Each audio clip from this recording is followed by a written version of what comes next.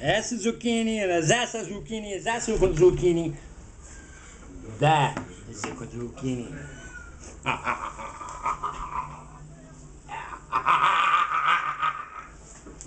yeah.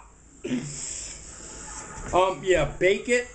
Uh, yeah, cut apart, cut split, and then so they don't roll over and stuff it with something.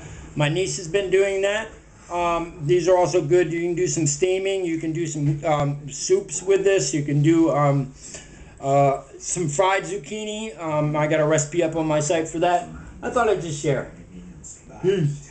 Chef John kicking out the big zucchini. Last year I was dancing with one of these, like a zuka, with my with my mask on. Yeah.